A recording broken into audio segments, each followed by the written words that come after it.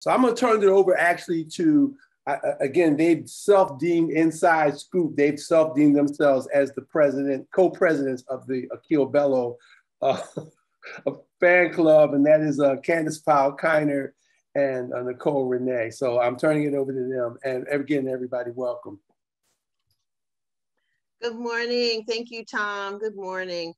Um, I, I, have to say that I love the fact that we have so many people on this morning, and I really do hope that you um, join us again for uh, future College Prep Roundtable uh, monthly meetings. Um, for those of you who attended for a long time, you might remember that these monthly meetings were in person.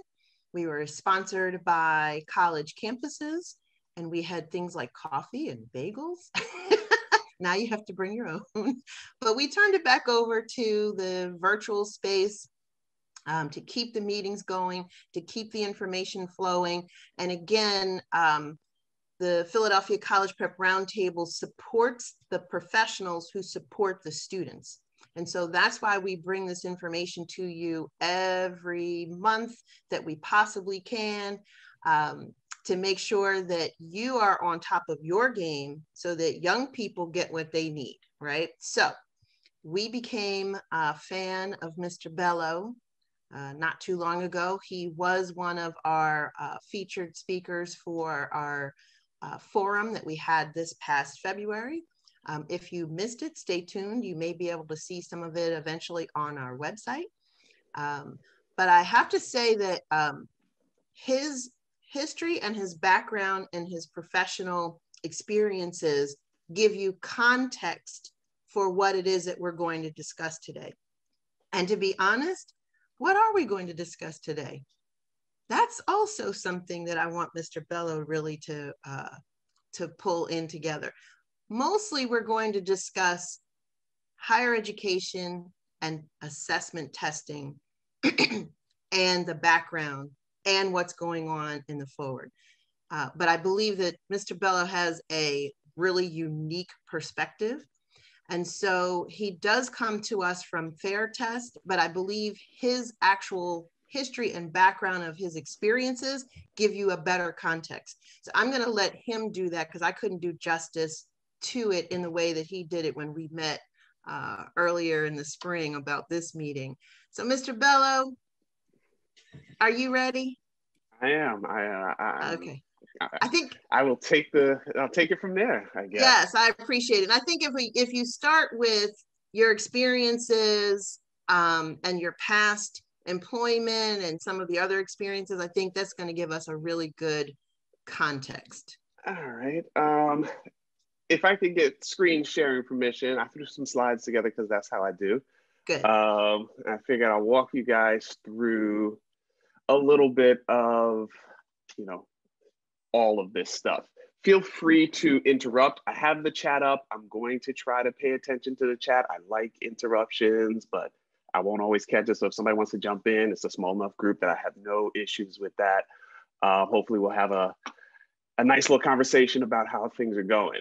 Um, all right, so let's see if we can get this rolling. Cool. All right, so so what I thought I'd put together today and walk through is a little bit of sort of what's going on. But background on me, I am a former mediocre test taker. Um, back in the 80s when I took the SAT, you know, I got a 510 and a 470. Um, I went on to get a, you know, spend 30 years doing test prep. I ran my own company. Um, I taught every single major admissions test you've ever heard of. I wrote prep materials for them. I've trained teachers for them. I went to college, as a matter of fact. I went to three colleges and got one degree. So that's high level of efficiency. I recommend that you don't suggest that to your students. Um, your students should probably do that, you know, kind of maybe the other way, go to one college, get three degrees. But I figured I'd try it the, that, you know, I figured I'd try it the other way. It didn't work out. It, it, you know, it's okay. Um, ultimately, I graduated. Um, since then, I've been, you know, I've been doing test prep. I've, I've been 30 years teaching, researching, exploring, talking about. Um, you know, my son says I'm an adult film star because I was in the documentary, The Test and the Art of Thinking. I also was recently in Operation Varsity Blues. My highest achievement is I was called hot by Trixie Mattel. And I just need, you know, y'all to be aware of that. And I have an entry in the Urban Dictionary. So I'm a highly accomplished individual. You know, I coined the phrase highly rejective college and it made it to the Urban Dictionary. So my life is now complete. Um, so, so what does all of this mean, right? I look at college admissions and higher ed access, actually really like K-16 access, because through, you know, through doing test prep, one test leads to another. I started with SAT, ended up with, you know, then GRE and GMAT and LSAT and all the other tests. And there's a lot of commonalities across those things. And prepping students for a test often meant thinking about the larger system of access that those tests provide. So, one of the interesting things right now is we are at a point in higher ed that I haven't seen in 30 years. That I that one, there is high level of attention on access in a way that it hasn't been to date. And so there's a lot of questioning of the systems used to provide or to enable or prevent access to education. And that's changing a lot of the things that we consider. That's changing a lot of the ways that things have been looked at. And so it's creating, I think, it's creating anxiety, especially among those who've benefited from the status quo.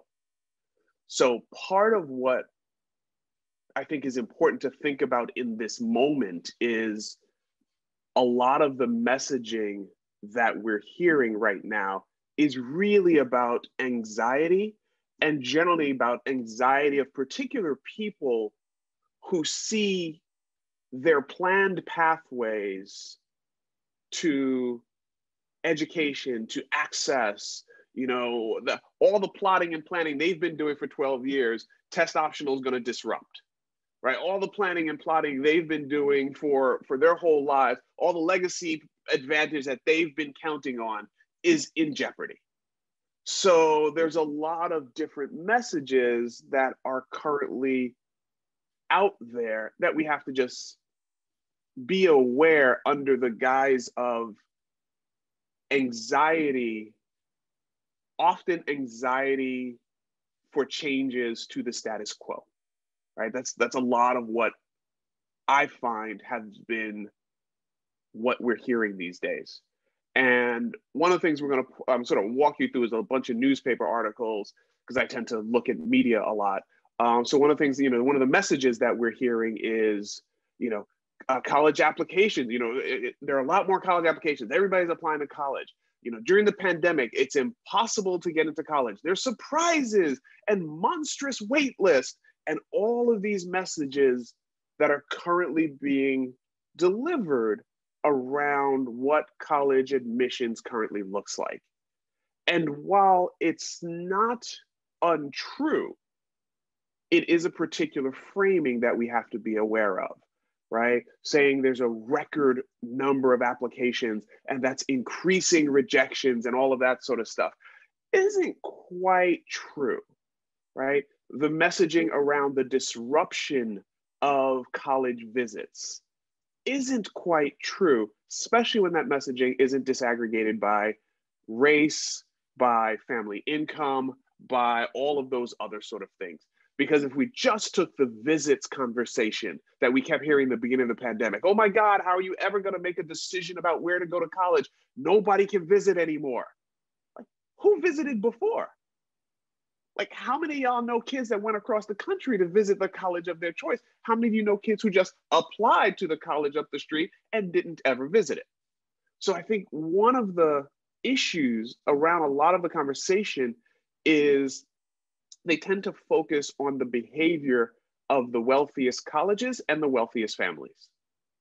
And especially if you're looking at things like the New York Times and the Washington Post right? Now, that's not to fault them. They have an audience and they have to serve their audience, right? Um, it was funny because Town and Country interviewed me for something. I just kept laughing. It's like, like, I don't know what the hell to say to Town and Country readers, right? Just like, like, like, I don't know who those people are. I don't know what their what their concerns are. I don't really care what their concerns are because you know what? They're to be all right. Right? You know, you read Town and Country, you, you probably ain't going to have too many issues. So just be aware of some of the messaging and what it means. Now, that's not to say that, you know, yes, visits were disrupted, right? Yes, that is a thing. But how much does it change the process for the students that you work with? And that's an important question, thinking about who am I working with and what does this mean for the students I work with? Um, is it relevant to them or not, right? So a lot of the messaging is essentially this, right? I, you know, I just love this meme because basically all the microphones go to the highly rejective colleges right? They, they, keep talking about, you know, the change in like Harvard's applications are up 10 million billion percent, and Harvard has a negative 6% admissions rate. Oh my God, nobody can get into college. Ignoring that, you know, Morgan State still admits 50, 60% of their applicants, right? So, so just be careful of the messages that are being delivered and who's delivering those messages and what they're focusing on, right? Um, uh, no, no shade for Candace and her subscription to Town and Country. Um, so I actually like to try to quantify things. So I did a Google search within Google News for which colleges get mentioned the most. And I found it really interesting that, you know, HBCUs, and I, you know, I tried, I just decided I wasn't even going to try to search individual HBCUs because I know that was going to be sad. But like the category right? Like just look at the scale of mentions, right? For all of HBCUs, 101 institutions versus, you know, several of the Ivy League schools, right? Which is eight institutions, right? Colleges that change lives, right? Almost no mentions of those. So when you hear stories of college, just be aware that college don't mean college, right? College ignores community college, ignores MSIs, ignores schools that are largely open access. And that changes the framing of the messages, right? And be aware of what that means, right? And when we think about admissions rate and we think about the stories of how difficult it is to get into college, just recognize that that's a very small subset of schools. Schools with a rejection rate of 75% or better or in case you prefer to say admissions rate, right? But really, if you admitted 25% of the kids, ain't that really just like your, your whole work is rejecting 75% of the population that applies. So, you know, you got to think about kind of what's going on there. Um, and also, admissions rate is a question of popularity. Baruch College in New York, ha- uh, which I'm sure many people haven't heard of, has close to the same admissions rate as Barnard College, um, which is part of Columbia, right? Because Baruch is the most popular CUNY school. So it gets all of those 70,000 seniors per year basically apply to Baruch. They don't have that many seats, therefore, they have a fairly low admissions rate. So, admissions rate is simply a judgment of popularity, not a judgment of quality, right? Uh, but those things are often conflated. So, you want to make sure that in your conversations with students and families that you try to convey some of this information, right?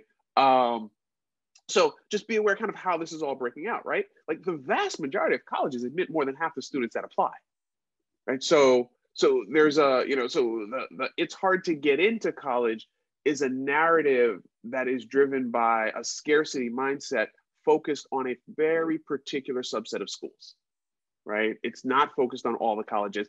You know, if we're talking about colleges in the United States, there are 7,000 things the federal government calls colleges, right? 7,000, right? Um, I usually use 2,300 because I look at, when I think colleges, I think um, awards bachelor's degrees. So generally when I'm saying college, I'm thinking about institutions that award a bachelor degree. So that number narrow, it, it admits first year freshmen, right? It awards bachelor's degrees and accepts federal and receives federal money. So that brings that number down to about 2,300 colleges. So when I say college, that's my universe, right? And in my head, when I say college, I also exclude the for profits. I don't usually do that in the numbers, but I do that in my head because nothing I've heard about for profits are good. Um, so, you know, what's a college is a real question. Um, if you want to have fun with it, look at like the IPEDS list one day.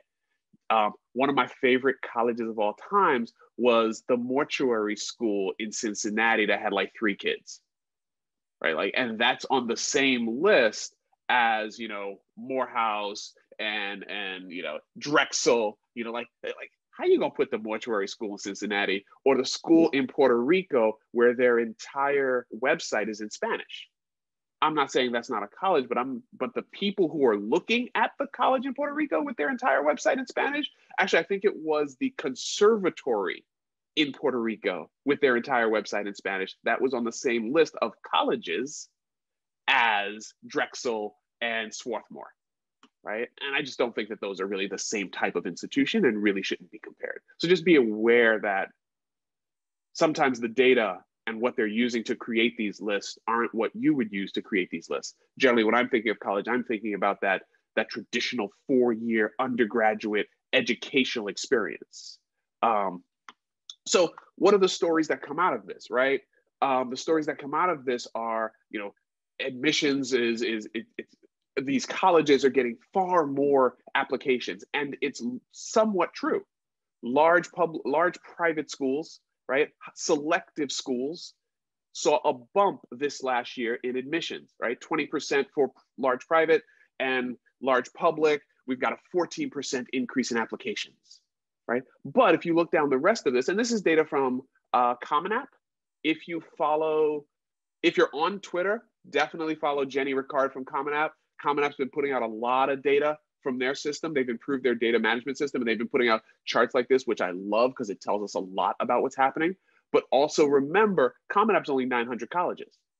If we're saying there are 2,300 colleges, Common App has less than half of them. So they're giving you more of a survey, right, than of a true, you know, then they're not giving you data on all the schools. They're giving you kind of survey data, which we're hoping reflects all the schools, but we don't know for sure. Um, right? Uh, also pointing to some other things. If you look down the list, right, look at the top right line there, right?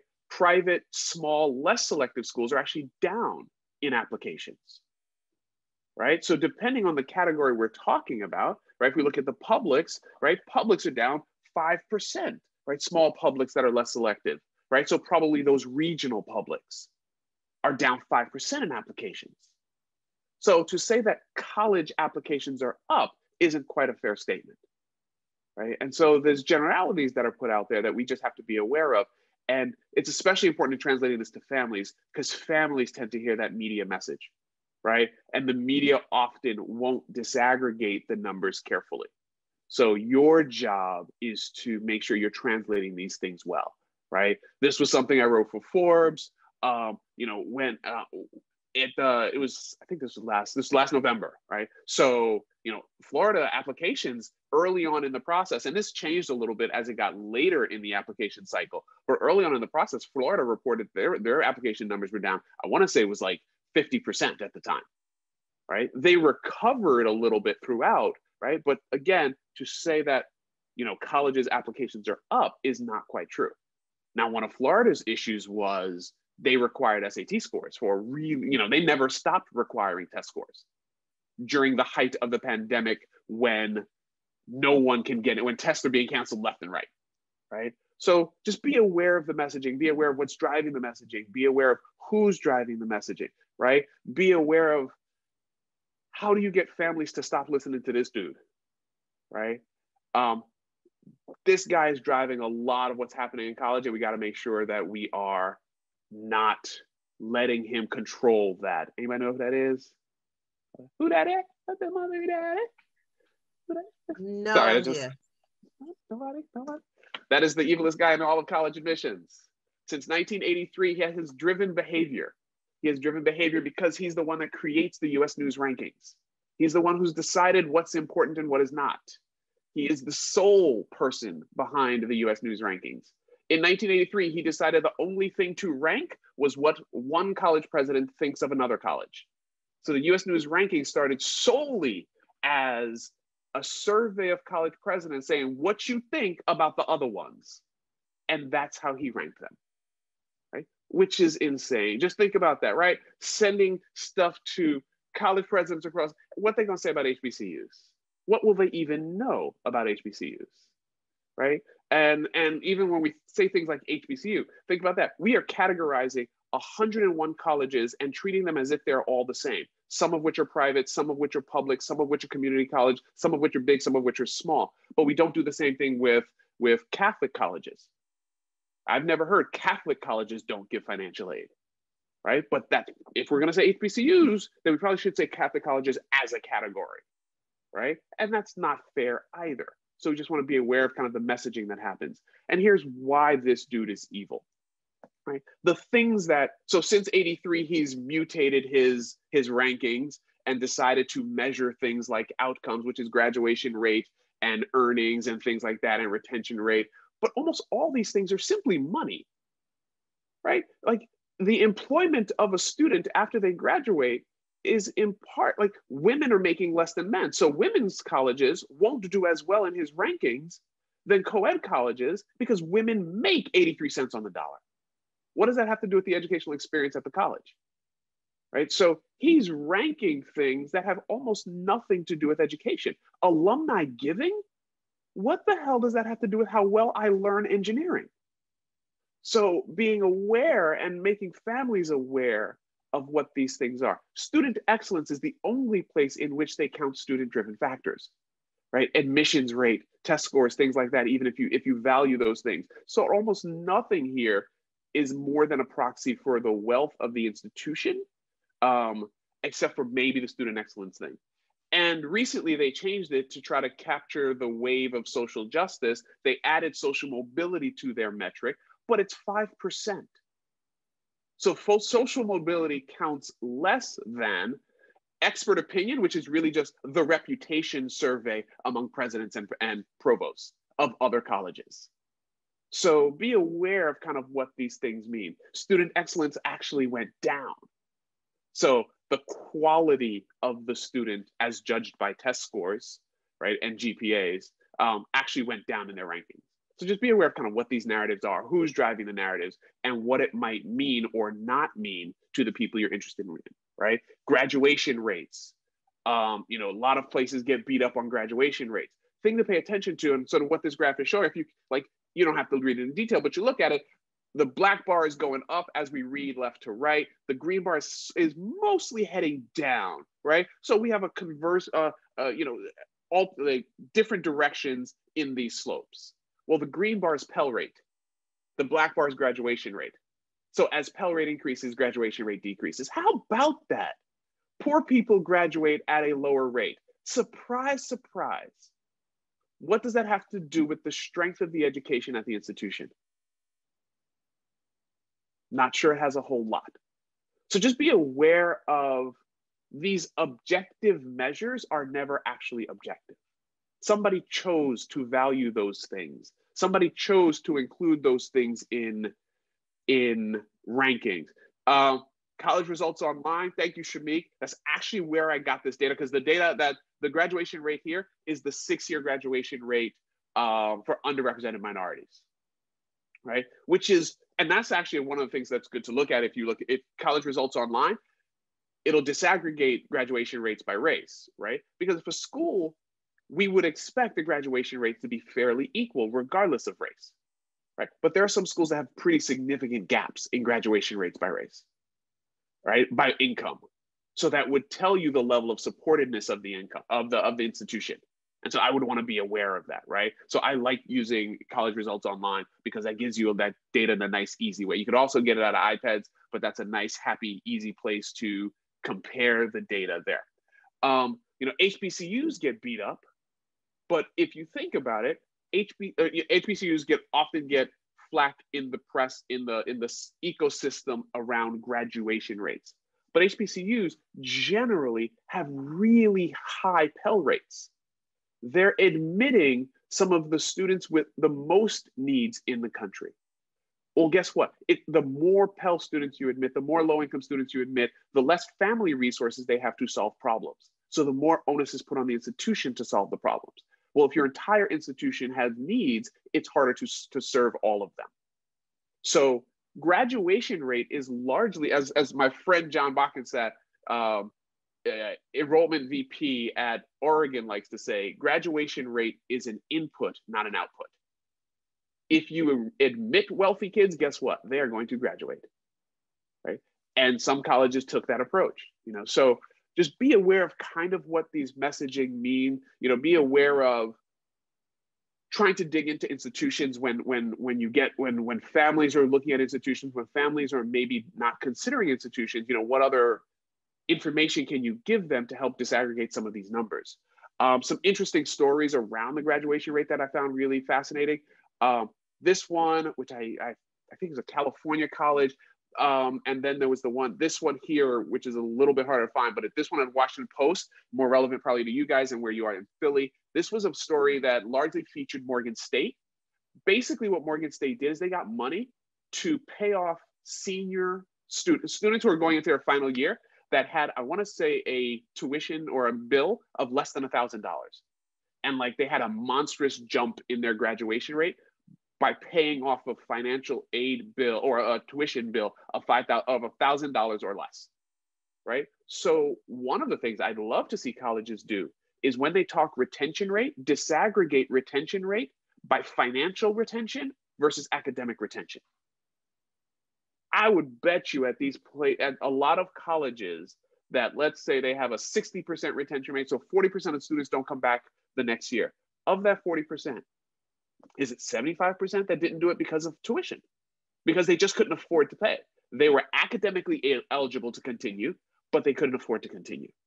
Well, that's not a real number then to say they're not retaining, because it's not the fault of the institution that they don't have money, right? Now, there's obviously some issues around financial aid and endowments and all of those sort of things, but that's not a mark against the educational experience of that institution, right? And they often connect retention rate to SAT scores. But we don't, I've never seen a study that looked at retention rate versus income and financial aid, right? And, and, and bills versus academics. They want us to believe that lower SAT scores are what told us those students are not going to retain. And I would challenge that. I would love institutions to start publishing you know, academically eligible to continue versus financially eligible to retain, right? And, I, and I've never seen that data. So just be careful again about what all these numbers mean and who is, you know, and whether they're being dug into in sort of a substantive way that looks at sort of all the angles of what's going on here. Um, so other things to think about, right? One of the nice things that have happened this year is and it's not just this year it's, it's been happening for a while but the the attention to public good social justice who are colleges serving has led us to a lot more discussion of who who do these institutions serve and who are they built to serve. So you see more studies of pell rates and how institutions are serving pell rates uh, serving pell eligible students right? Which institutions are doing a good job of serving pell eligible students and which ones aren't I just saw a report on a school in Virginia. I feel like it's William and Lee. Um, and I'm gonna throw William and Lee under the bus because their name is William and Lee, so we might as well. Um, but I feel like they they're in Virginia with a large percentage of black students, and they admitted like seven black students over the past three years, or something crazy like that, right? So you know, and their number of Pell students is really low as well. So one of the things that's coming out of research these days is a lot more focus on sort of the public good impact and the societal impact. Social mobility has become a phrase that didn't exist, you know, in the college sphere, or I didn't hear it in the college sphere 10 years ago. Right. And I think that's worth paying attention to. This shot is from the New York Times, which published the Chetty data in a nice, happily, easily accessible manner, right? Which makes it really in, easy to look up institutions and basically see, you know, who are they serving? Right? Uh, Raj Chetty is a professor, some hoity-toity fancy professor, um, one of the economists who's actually doing good work. Um, I find that when econ- economists start looking at education, all kind of bad things happen. Um, those are the people who seem to me to be defending the SAT most. Economists who don't like. You're an economist. I'm not sure what you're talking about education for. Um, very few of them seem to like look at it in a, in a substantial way. But Raj Chetty did some really good work he was looking at the income, the, uh, the family income of students at particular institutions.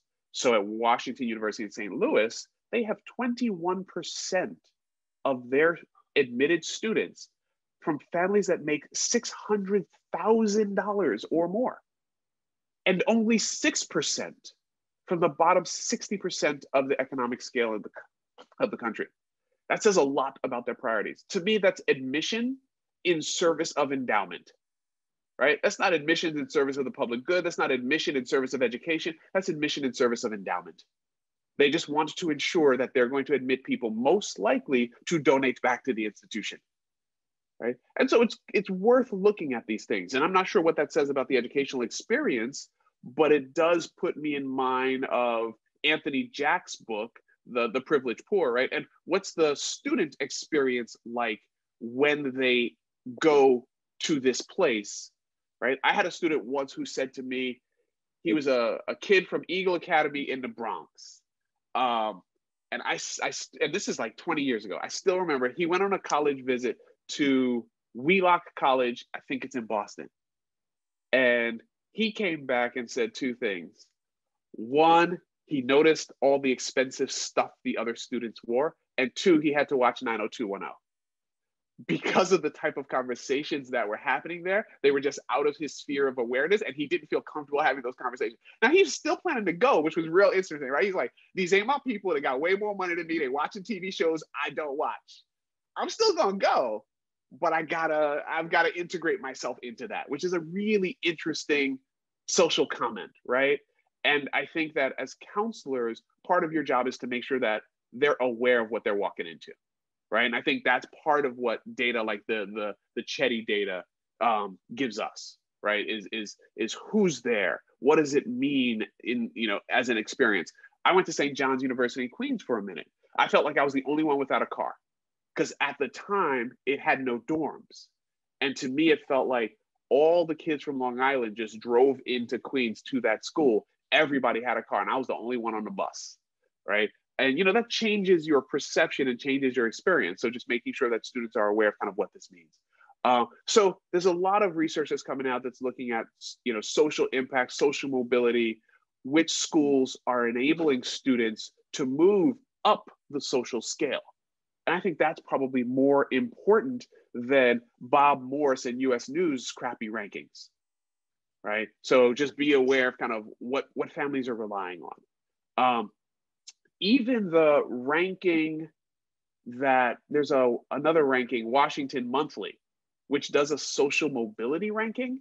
They don't actually account for it. So they look at, I want to say percentage of Pell students, but they don't actually look at numbers. Because like one of the schools on their list, maybe it was number two, number three, right? It it had a really high social mobility ranking, but when you dug into the data, they admitted very few students. So the percentage looked good. So let's say they admitted seven Pell kids and they all graduated last year. So they have 100% performance for Pell students, but they only admitted seven, right? So, you know, one of the things that you want to try to do with these things is, is dig into the data a little bit beyond the kind of big flashy numbers. That's what happens with, with media often they grab a nice, easy number they can talk about and they talk about that number. And it often obscures the, the full research that's, that's there. Um, so I dig into this stuff a lot of different ways. You know, um, as you notice, I like talking about HBCUs. I feel like HBCUs need more shine. Um, I was digging into where are African American students graduating? Where are they going to graduate school from? What are the sources, the feeders? of graduate school admissions, right? All the ones with the black fist next to them are HBCUs. Notice, top of the line, no matter what graduate program we looked at, Howard was on the top. So if I have a student looking to get an MBA, we should be thinking about Howard, right? That should definitely be one of your considerations. Florida A&M, like Xavier in, in Louisiana, right? Um, not on this list, but maybe, you know, Southern, um, I'm sure is part of that list. I know for a fact Southern has a really robust support system for getting students into medical school. There was a few years ago where Southern was in the paper because of all the students because that's basically the place you go for Black students to go to medical school.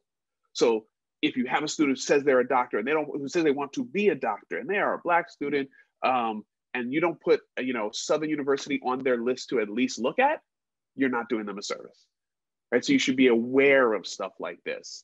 Um, and you know, are we thinking about the fake HU when when we we're recommending places to students who say they want to be a, a you know a, a lawyer, right? Because we all know uh, Hampton is is is the real HU. I'm just saying. Uh, Howard is the fake HU, right, Nancy? Um, other things. Oh, I think Akil, you so crazy. yeah, we absolutely started a war. well, you know, that's how I do. Don't like do start not best. start with me, Akil. Don't start. don't start. Just because y'all got a vice president, don't mean y'all locked up in this piece. remember what I remember when it was Hampton Institute, not Hampton University. See, All right, back to our regularly to scheduled wars. programming.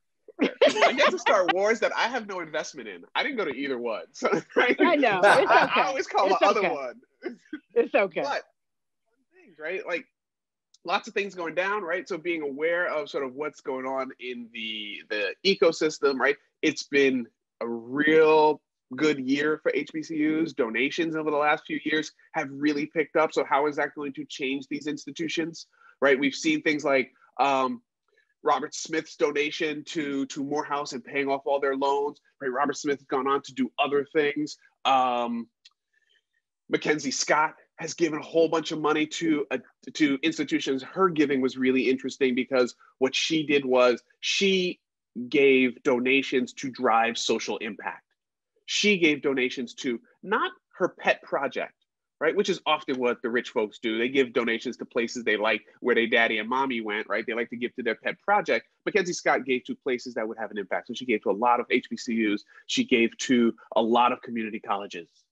So what type of new programs will be put into place based on the increased giving at these places, right? And that's worth being aware of, you know, because that may, may mean new programs, new degrees, things like that are, are going to come up.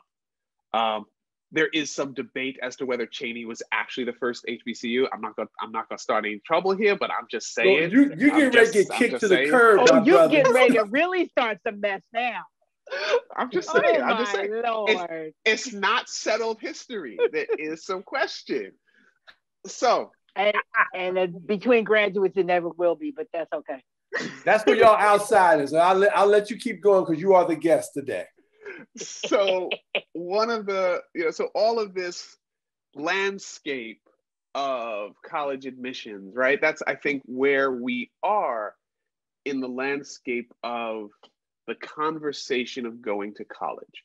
The other pieces that i sort of didn't bring out there is the conversation of like should we go to college? Is it worth it? Yesterday i heard an economist who a was questioning the value of going to college B was questioning canceling student loan debt, you know, and and all of and and from her clearly very fancy, very nice house, right? And I always wonder about those messages because who are they benefiting? The don't go to college message, right?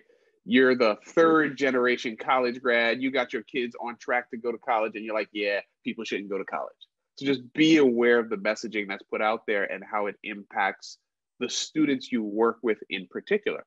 I do think some people shouldn't go to college. I'm floored that all the varsity blues people were scheming to get into college. Your daddy got a, a million dollars to bribe his way, to bribe your way into college. Why do you need to go to college? Just get a million dollars to the child, right? So there are certain people who don't need to go to college. You know, the the the the, the main villain of that varsity blues story, sort of the Olivia Jade girl, right? She had a thriving business with the influencer nonsense on YouTube. Why do you need to criminal, you know, to to to, to criminalize to, to you know to cheat and lie and scheme when it's already there? So there are absolutely people who don't need to go to college, but messaging generally is not directed at them. So we should be careful of what messaging is out there and making sure that we are adding nuance and thoughtfulness, right? Should I incur $75,000 in debt per year to go to college? Probably not, right? Is the dis- difference between the achievements of, you know, between my potential outcome in going to Hampton versus Harvard worth $100,000 in debt? Probably not. So these conversations need to be nuanced, but we need to be aware that the media gloms onto things like $300,000 in debt um, and therefore don't go to college, right? Whereas in truth, that's not actually what it is. The average student loan debt is around 40,000, I believe is the last number I've seen, right? That's the average or the median debt, right? So most people aren't walking away with 100,000, 200,000, 300,000. That's almost always grad school money, right? Or for-profit college money, right? Not just, you know, going to your public up the street, even if they do gap them a bit, right? So we want to think about kind of, uh, you know, disaggregating those messages because that's generally the message that is being conveyed in these media stories that families are probably walking into your office with, and you want to be ready to to handle those messages um, and to disaggregate those messages as well. Akil, so, I think I think yes. Akil, I, I just want to interrupt. I think I want to um to double down on that in in relationship with specifically the media piece and specifically how the media machine. I don't have a better word for it. So you know, people will come up with like something something industrial complex. You could you could do that if you want to, but the media machine and the messaging that the media machine feeds to this young generation of digital natives. And so we have this lived experience as um, uh, uh, people who have gone through the process. I'm not going to call us old, but like we've gone through the process and we have the lived in life experience. And then we have this new generation of young digital natives that's coming in with all of these social media feeds and all of these directed uh, media messages about what is valuable, what is not valuable, what they're able to attain, what they're not able to attain. And like this data is incredible. And this is why every time Akil is somewhere and I have a free moment, I'm trying to go see if I can learn something. Like I literally just pulled something from what he messaged and I just messaged it to my team at College Advising Corps, like, hey, I'm on this thing and I just learned this. This could be helpful in our work. But just one takeaway for all of us as we continue this work across uh, uh, Philadelphia College Prep Roundtable and and the and the stu- the families and the students be thinking about how do we how do we influence the narrative that is being fed to our young people right? Because it's it's like we'll take this information and be like okay and then we're going to go talk to young people and we'll say but this and this and this and they'll come back and they're like yeah but no and and you know cancel culture and you're ghosted and whatever and so we just have to be really thoughtful about taking in this, this context that Akil is sharing, which is inc- incredibly valuable because it literally like turns things that we're seeing in the news, in the media on its head. But we have to be really thoughtful about how we message this uh, with our families and our communities. So I just wanted to say that. Yeah, no, that's big. I actually touch on that a little bit later. I've got a couple of things to show you guys around that. But I mean, Shami brings up a huge point there, right? How do you fight against TikTok? Right? I was floored to find out there's somebody who's got a huge following on TikTok doling out college advice in 30 second tidbits like like that's a meaningful thing right and and that's the the challenge right now in the college space is fighting against those types of messaging um, so specific to sort of the sat testing world um, you know, what does all this mean? So the pandemic canceled all kinds of tests. That hasn't stopped, although it's lost. It's it, it, it has lost its shine, right? Like when it first happened, SATs canceled across the country, ACTs canceled across the country. That was in every paper every second day. That's no longer in every paper all the time. But I'm sure you've all experienced it that it's still happening. Test centers are still being closed, schools are still closed. And as long as schools are still closed, there's still going to be last minute cancellation of test centers. So I just dug up on College Board and ACT's website, you know, what cancellations happen. Right now for the June test, they're 80, they're like, this is the list in New York State of canceled test centers. Like that seems like it'd be more than all the canceled, all the all the offered test centers in New York State, right? Like that's a lot. Um, when I looked up New York for the SAT, right, I looked it up on May 3rd, right, for the May 8th test, and there are 83 results for closed test centers. So testing is still being canceled, right? The, the world of testing is also changing. You might have heard early on in the pandemic um, of, of College Board announcing things coming, ACT announcing changes coming, section retesting, super scoring, all of those sort of things, right? Pandemic puts a lot of that on its head. College Board canceled the subject test, so subject test will no longer be offered, right? So starting June, there's not going to be subject test. The optional essay is actually going to go away entirely from the SAT, which means I actually expect the optional essay to go away from the ACT eventually as well. I feel like ACT is just biding their time right now so that they don't look like they're copying SAT, but that's going to drop off pretty soon too, right? So, you know, there's changes in the processes that happen periodically, right? One of the changes is ACT super scoring is, is a thing that has hit the ether. It doesn't really mean much, right? But be aware that people are, are making a thing of it. ACT, basically, we all know super scoring has existed for a while. It was essentially happening in the college office. The college was choosing to super score multiple test scores. Many of them did not do it for ACT. ACT decided they're going to jump into the mix probably because it helps the bottom line. ACT suddenly produced research after years of saying super scoring ain't good for the ACT. You can't do it with the ACT. That's why colleges didn't super score the ACT because ACT told them not to. Well, a couple years ago, ACT suddenly produced research that said, nah, super scoring is good, right? Because I guess they wanted more test taking. I don't know why suddenly, you know, research has miraculously changed to allow this financial benefit to ACT.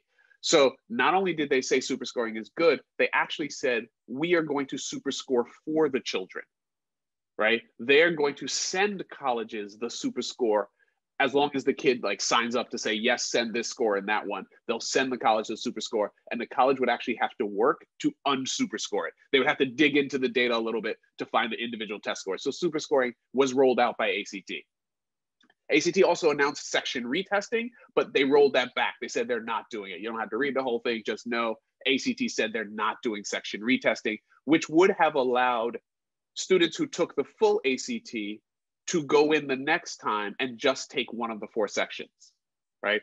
That was going to have to happen on computers. So it would have been a logistical nightmare. And I never figured out how they're actually going to pull it off but they came to their senses and they're like, yeah, it's just too much mess in COVID to try to pull off. So that's actually not happening. There's also no computer testing for either the SAT or the ACT. There's no national computer center testing for the SAT or the ACT.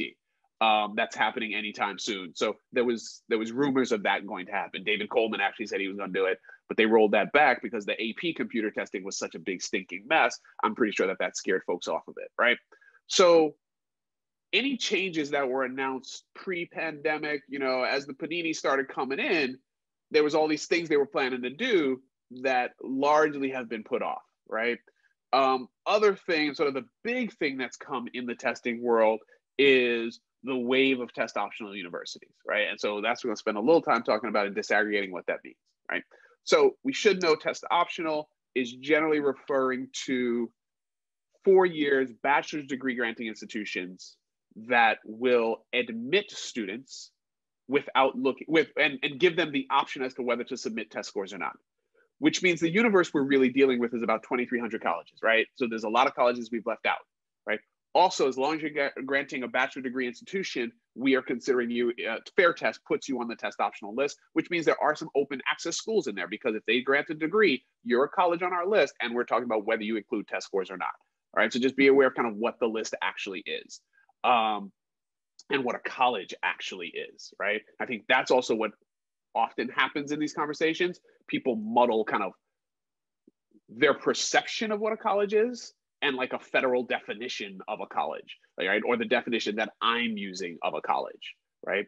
Um, so pre-pandemic, about 50% of colleges were test optional, right? When we uh, when we rolled into you know uh, the the pandemic and the pandemic really kicked off, that number spiked to about 70%, right? And a lot of those colleges did it for logistical reasons, right? No one can take the SAT. About, you know, 40% of SATs were delivered um, than a normal year. So if a college was still requiring SATs, their applications were going to be down. So lots of colleges, for logistical reasons, right, um, became test optional for, for, for 2021. For 2022, what we're seeing is that some of schools are rolling that back. Most recently, Georgia announced that they're returning to requiring SATs.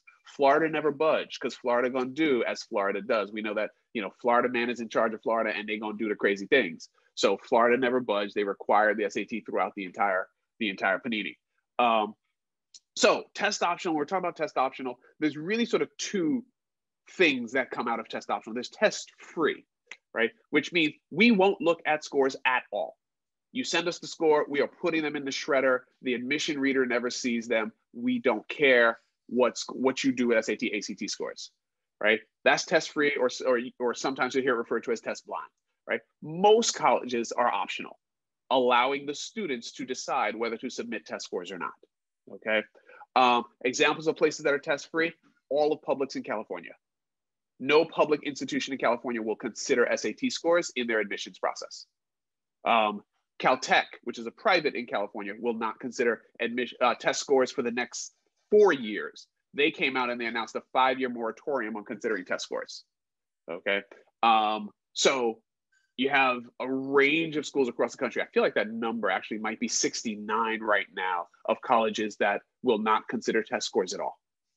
Right, test optional though is the vast majority of them. Right, and the policies vary. So one of the things to be careful about is what does test optional mean at this particular institution that this particular student is interested in, right? That, uh, that varies a fair bit, right? So that's one of the things that makes these conversations a little bit mushier um, because uh, there's no US educational system, right? There are 2,300 colleges with 2,300 different policies. They get to do what they want there are very few state systems, even New York City, right? The New York City public education system has, I want to say it's 23 campuses for SUNY, right? They don't decide things as a unit. Like there are several SUNY campuses that have been test optional for years. And there are others that just became test optional because of the pandemic. Whereas in California, they're deciding things as an entire system.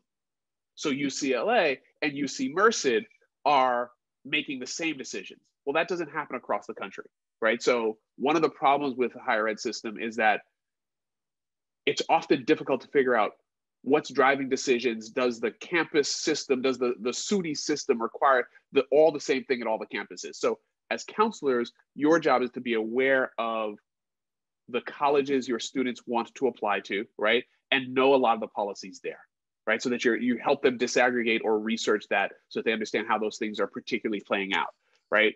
Um, there are often exceptions to test optional policies. A lot of times it's honors programs. Sometimes it's for a specific group, homeschools, international students, things like that. Um, often it's for scholarships and merit aid. So when I'm thinking test optional, if I were a counselor, right? When I'm thinking test optional, I'm really thinking each of these categories. Are they test optional for admissions? Are they test optional for honors? Are they test optional for money? Right. And the, and you want to make sure that you know the answer on each of those tracks because the answer can be different. Okay. Um, more sort of history. The first sort of official test optional policy, um, which is sort of only pseudo official because back in the 70s, you know, I think in 1960, only about 400 colleges required the SAT. So the SAT isn't really universal. It has never been universal to college admissions. There are colleges that have always been open access, right? So, but the first sort of official rejection of the test, the official test optional declaration was in 1968, and I believe it was Bowdoin College. Um, it, mostly small liberal art Eastern colleges, um, Northeast colleges through you know the early 2000s were schools with test optional policies. We had 280 in the early 2000s, right? That number started to go up a bit. So test optional has a long history, and it's been growing. In 2013, Benedict uh, Bennington College, um, whose president at the time was Elizabeth Coleman, David Coleman's mama, um, decided to take her college test optional, which is my favorite thing in all of higher ed the president of the college board, his mama took a college test optional. That is my favorite thing in all the world. As somebody made a T-shirt was passing them out at NACAC, that that also made me happy. Um, more recently, at the height of things during the pandemic, um, about 1,600 colleges were test optional. That number has dipped a little bit this year. We're back down about 2,400. Now, part of the re, uh, 1,400, part of the reason that number has dipped is some schools haven't announced their policies yet. Um, we don't know what the SUNY system in New York City is doing for next year. So some of this dip is simply unknown. places that announced a one year temporary suspension of test requirements and have not yet updated that as to whether they're going to do another year or whether they're going to, you know, stop. So be aware of sort of like some of these places. If I have contacts in the admissions office, I'm just gonna pester them. I'm gonna like set up a automatic email that goes out every Monday. Yo, y'all made an announcement. Who should I touch base with? Yo, can we talk to the provost? Like send an email to the provost and the president because because it's ridiculous that places haven't made an announcement entering the summer before applications need to go out, right? But there are a lot of things that are involved in that. Sometimes it's politics, right? Especially for public systems. Public systems, they have to make decisions beyond the campus. A private school generally makes decisions on campus, right? They have the president, the provost, and the board involved. But a public system, president, provost, board, maybe the legislature. In Colorado right now, there's a bill in the legislature trying to be passed to let Colorado pub, uh, public colleges be test optional for another year. Right. Um, in New York State, there is a bill that is in committee to have New York State follow California and become test blind. So there's a lot of sort of, you know, so sometimes, you know, so so don't beat up the colleges when these things are slow, especially the public colleges, because often it's political right? Um, and that's sort of what's driving it. But historically, test optional has been in small schools, uh, private liberal arts schools. That has changed over the past few years, both pre Panini and post Panini, right?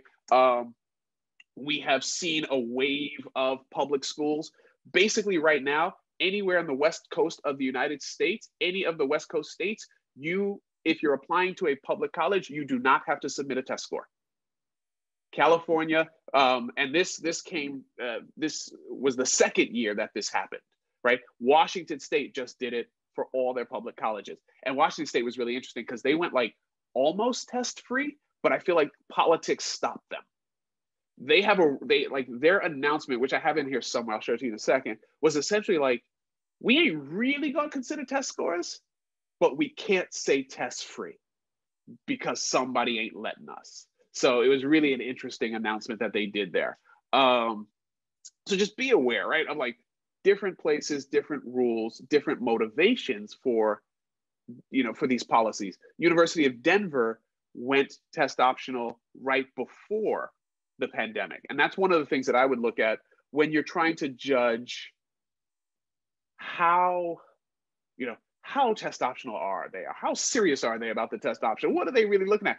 I understand that there's a lot of ambiguity in trying to mitigate and play, you know, and and navigate the anxiety or play the probabilities of what's my probability of getting in. I think that's what drives a lot of the panic in higher ed.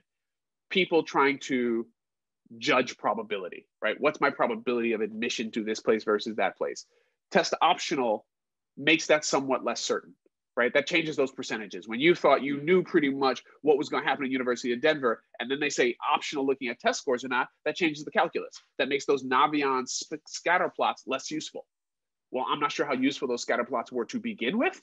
And yes, this makes that somewhat less useful. And if you're not 100% certain that they're legitimate about it, like Georgetown, I don't believe you at all. Ain't no way, no how that Georgetown legitimately don't want scores anybody who's ever sent a student to Georgetown and look at their requirements, they wanted three subject tests when nobody else in the world wanted subject tests, right? Georgetown said that you got to send all your test scores from the time you were a baby in your mama's womb. They wanted your APGAR score at Georgetown, right? So, yeah, I don't believe Georgetown's test optional legitimately, right? So, it does take a little bit of disaggregating and and for schools you are really focused on where lots of students apply to, look at their announcements. That will often show you what they're doing. When did that annou- announcement happen? What did they say in that announcement? Right? That'll often tell you kind of the, that'll give you some clues into how serious the office is about that. Um, Denver announced before the pandemic. Um, so that's a clear indicator of they weren't driven by logistics. They were driven more so by, you know, a philosophical stance right? Worcester's been test optional forever, right? Um, and their announcements is supported by research, right? The research shows us that the value of a test to predicting succeed success or first year GPA is fairly minimal.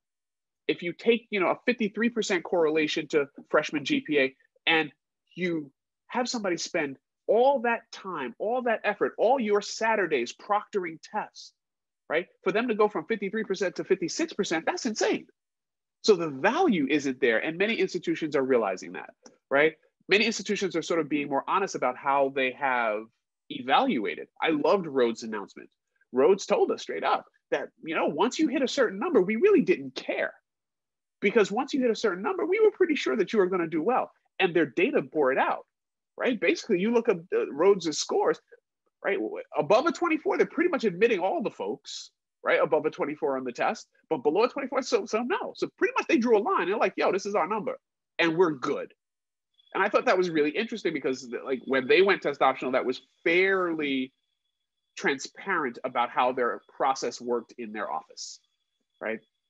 So lots of research out there. And one of the things that you want to be aware of are these conversations. You know, what's the value of tests? What's the meaning of tests? I think those who worship at the altar of tests want us to equate testing performance with academic performance and graduation rates and career success, like college readiness, career readiness are somehow measured by test scores, right? And I think that that is a, that's an overuse of test scores. It's an overreach, right? And, and it's an overreach that benefits the testing industry more so than anybody else. And there's lots of research that shows us the predictive validity of test isn't worth the weight it's given in the process, right? For 2% bump on graduation rates at most places and even less at HBCUs, why are we using these tests? Right, that's giving you almost nothing. And there's lots of research to support that. There's a the, the most recent study, this last one here, um, looks at a wider range of schools and it's show you know what they looked at was the bump to diversity from test optional policies um, if you look at the kind of third line of that first summary a three to four percent bump in Pell recipients.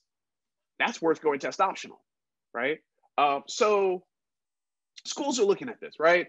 You know, you want to be aware of this. And, and one of the problems actually with some of this, there was a recent article based on that same study that showed the three to 4% bump in enrollment of Pell students from test optional policy. That reporter pulled a different stat from that same study that said a 1% increase in diversity. So that reporter found the least beneficial statistic to cite from that study. So one of the things that you want to look at when this research comes out or when people are talking about stuff is make sure that you kind of look at different readers of the research or read the research yourself, right? But it's fair to say test optional will never be enough. There are far too many things in this process that impact who gets into college and why, that changing the testing requirement by itself ain't gonna do that, right? Because if we look across all these things, you know, eh, sure, killing one of them will certainly help, right? I can't see how crossing one of these lines out won't help somewhat. It ain't gonna solve the problem. And those who pretend that test optional is supposed to be a solution are lying. No one's ever made that claim. But largely colleges are doing it in order to remove a barrier that's fairly easy to remove it is hard to disaggregate who gets access to APs and who doesn't. It is easy to say you can choose whether to send test scores or not. So that's one of the things that drives some of these test optional decisions, right? Um, to Shamik's point, right, be aware of the messaging that is being transmitted to your students and to you, right? Um, there was a big hoopla when colleges were going test optional about, you know, is test optional really test optional? NACAC had to pub had to get people to sign on to a to a document to say yes, we really test optional is test optional, right? But when you think about who's questioning college policies, right? You know, this is America, so everything comes down to dollars, right? When you look across, like, who are the people questioning it? Oh, it's all the test prep folks. All the people like test prep, uh, the test publishers, are questioning whether test optional has value. The test prep companies are questioning whether test optional has value, and many of the independent college counselors. All the people who have a financial interest in selling you secret sauce, in selling you that only they have the solution to what college you should go to. So be aware of who's delivering these messages. This was an article that floored me. It was in the Daily Pennsylvanian, right? And they interviewed this dude, right? I looked at this dude's website and the comments he had. So he gave his what was it like like his prototypical stories of how they work their magic to get people in college. And the stories he put front and center on his website was basically these people's race kept them out of college and we fixed it. Right. And these are quotes from his website. What's also fun, the same dude who was quoted as an ex, excerpt as an expert in this Pennsylvania in this UPenn article has sued his client because he didn't think the client would pay the balance of the 1.5 million dollars they paid for college counseling to get them into an Ivy League school. I'm not sure this is the dude I would trust to look at the system and tell me how it's working.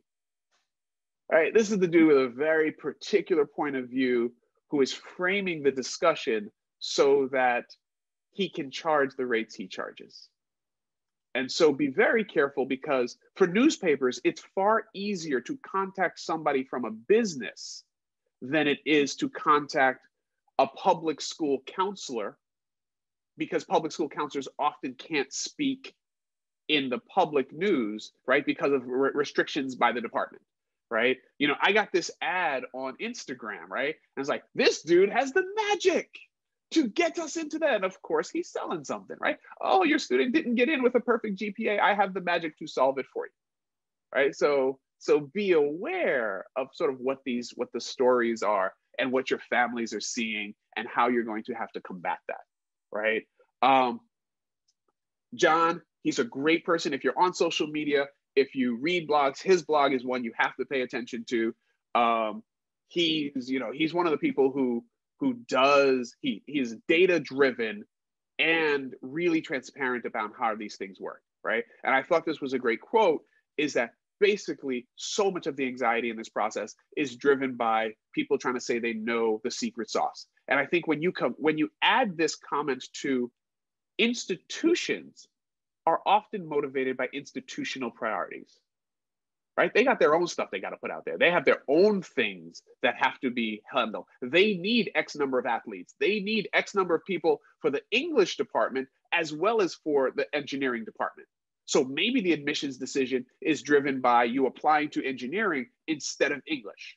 So there are lots of institutional priorities that change the game and change the conversation right? So just be aware that research, media, all of this stuff, uh, you know, who's doing it? What does it mean? You know, uh, ACT coming out and saying test optional doesn't benefit universities. I'm, I'm, a, I'm gonna question that. This book that was making the rounds a while ago about measuring success floored me when I looked at the, the acknowledgments in the book. Just look at the highlighted part. Look at the word before it also. So they thanked our communications team all those people work at the College Board. So, this research driven book, the research that says testing is better because grades are inflated, in their acknowledgments, they thanked College Board's marketing team and they called it our communications team. Oh, yeah, this book ain't, ain't, ain't, you know, doesn't have a particular point of view they're trying to push, right? Who benefits from this? this benefits the you know that benefits the test test takers i mean test makers right so be aware right? Share that information. Let folks know you know lower test scores i'm not sure what that means. There are there is meaning to test scores. The problem is the commodification of test scores reduces the meaning that they actually have right? Um, this is uw's recent announcement right? And i thought it was interesting because they're they're very transparent about kind of what they're doing right? They're technically test optional Right? I just, I just love that they said we are technically test optional, but essentially they're saying we don't look at scores until like the very very end, maybe for a handful of students, right? And that's what I'm saying. Like to me, this feels like no one allowed them. Whoever was in charge of things politically did not allow them to be test blind, and they kind of wanted to. So they are effectively test blind, except they can't really say that because somebody's in, you know, somebody pulling the strings like, nah, I'm not gonna let you do that. Right. So I'm sure Michigan and Georgetown will say very different things on their website. So, yes, in truth, test optional is not equal at all places, right?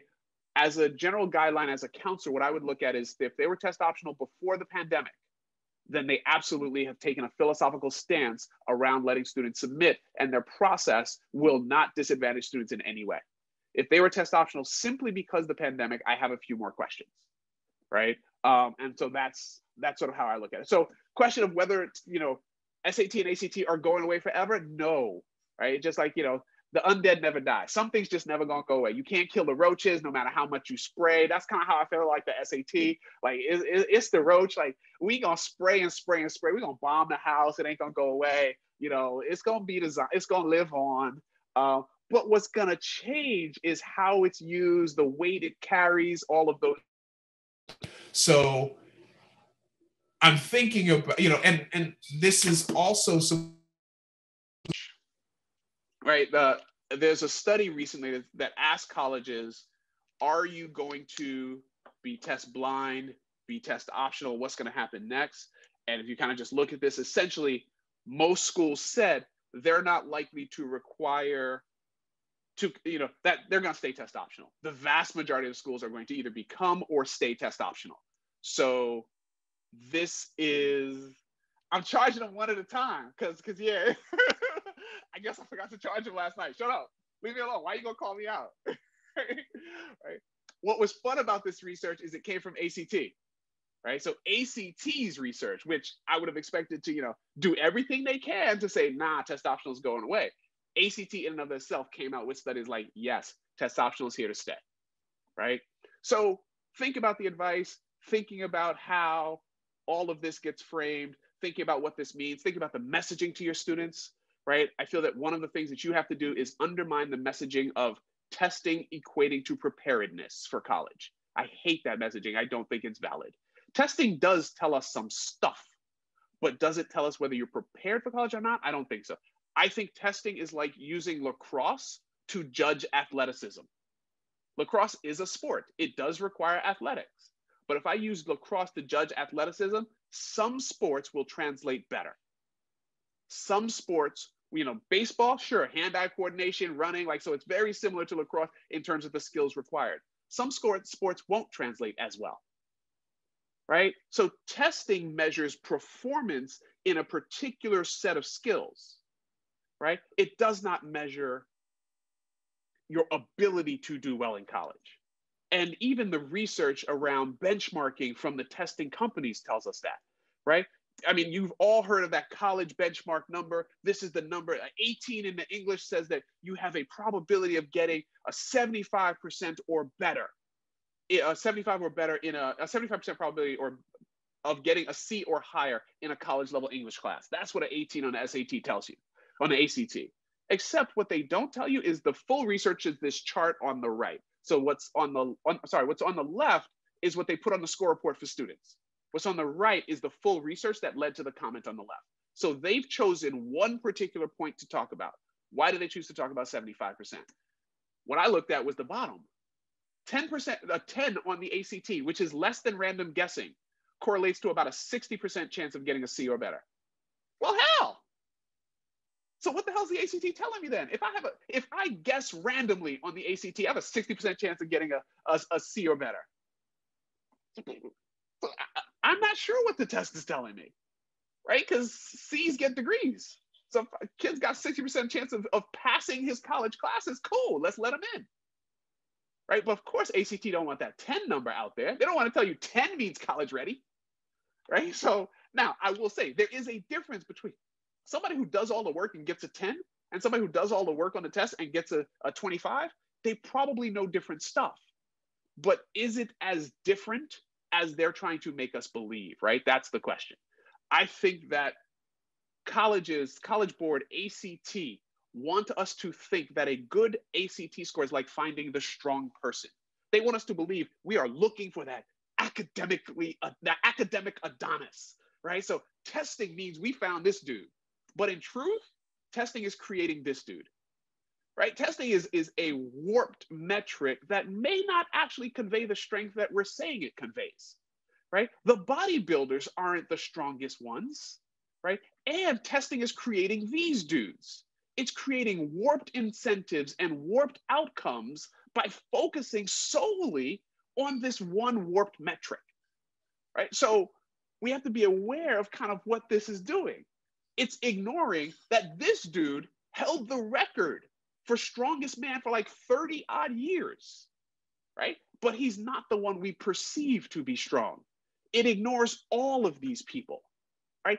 Simone Biles can kick my ass every day, all day. We know this. like, there's just no question that she is stronger than most of us in this room, right? But in focusing on the appearance of strength, they are ignoring the reality of strength and the reality that the strongest man often doesn't have that appearance of strength. The strongest student may not perform well on that three hour Saturday, testing only English and math in very particular ways that can be gamed and steroided to a better perception of strength. So we have to be aware of that. And I say in the, the you know, those bodybuilders ain't strong. They are also stronger than me, right? But it's a very different kind of strength. So just be aware of kind of all of these things, right? And be aware of what this stuff means, right? Uh, so I'm to sort of wrap up here. I'm to jump past a couple of things, right? The narratives of finding the diamond in a rough is is not quite legit, right? Um, there's data from ACT. This was an ACT study that showed that when they looked at GPA versus test score, 85% of students had aligned GPAs and test scores. Only 9% had what they called a discrepant ACT score. So the ACT score is much higher than their GPA would have indicated, or 5% had a much higher GPA than their test score would have indicated. So basically, test score tells us nothing new for the vast majority of students, right? And if you look at kind of that data's played out differently, like, yeah, test scores and GPA tend to be lockstep aligned. So all this shenanigans around test scores and saying like test scores are going to miraculously discover, eh, it's a really small population that actually has discrepant test scores and GPA, right? Uh, and this is the same basic study from ACT. Again, noticing that a really small population have discrepant test scores and GPA, right? Slightly bigger on the SAT than on the ACT. But when we break down who has better test scores, those with better test scores are largely male, largely white, largely wealthy, and largely from college educated parents. So again, who is the test benefiting? It's not finding the underrepresented first gen student. Um, you know, I thought we were going to 11. If y'all got questions, just throw them in there. I thought we were going to 11, so I was giving us about half an hour for questions. Um, my bad if I'm going long. Y'all got questions, throw them in there. I am very happy to kind of chill. I'm wrapping it up anyway. No, uh, um, uh, Keel, you are correct. We are going to 11. We are also um, going to take, uh, please form your questions, folks, because I know you got a thousand, because I have more than I even know how to form in my head right now. Uh, cool, cool, um, but we do leave a little bit of time for questions for you, but also announcements at the end. Gotcha. Okay. So I'm, I'm about two minutes out, I hope. I think. Okay. Um, it's big things, right? Things vary across states in terms of test optional and how many colleges are test optional. So make sure you're checking into that, making sure you look at that. I have students think about a grid like this. If I'm talking to students, I want them looking at admissions, scholarships, and honors. Because if this is the student's list of colleges, starting with St. Mary's, which yesterday announced that they are test free for all the things, they are not looking at test scores, um, right? But if this student is looking at schools, right, then if we throw University of Georgia into the mix, now they have to test. If their list doesn't include University of Georgia, they're pretty good right? They may not have to test at all. And if testing ain't their thing, don't do it. But if you throw Georgia into the mix, now they do have to test. So make sure that you're kind of looking at that across things. And then, as a, again, I might have to look at this across different uses or misuses of tests. Some colleges are using and some high schools are using it for admissions into dual enrollment, which to me is crazy, right? The point of dual enrollment is to get ahead. Why would I require the SAT scores to let somebody do dual enrollment? But some places are doing that, right? Some places are using test scores in kind of crazy ways in placement and in and in credit. Like Auburn here is driving me crazy with it with their thing. Like uh, if you look down, right, where is it? Um, here we go. The second bullet there, SAT taken, no, the last one, SAT taken after March 16th, right? They're using reading to give credit. They're using reading, not English, because the SAT has a grammar component. But the University of Auburn is using the reading score, not the English score, to award credit for an English composition class. But they're using the English from the ACT. The English from the ACT and the grammar from the SAT are the exact same test. But I don't know what the hell Auburn is doing. And the distinction between getting like if you go from a 37 to a 38 on that Eng, on that reading SAT score, you get six credits instead of three. That doesn't make any sense whatsoever. So be aware of what the colleges around you may be doing with the test in addition to admissions, because sometimes that's important, right? And then the final thing I'll say data is coming out these days on how many people were admitted with scores and not, right? 18% of the admitted students, of the people who submitted score at Emory, got in. Only 8% of those who did not submit scores to Emory got in. What this data has universally excluded is other factors. If we know test scores and GPA are fundamentally lockstep, then we should probably assume that those with lower test scores probably often have lower GPAs as well. So by disaggregating it solely by GPA, uh, by test scores, you're not actually telling the full story.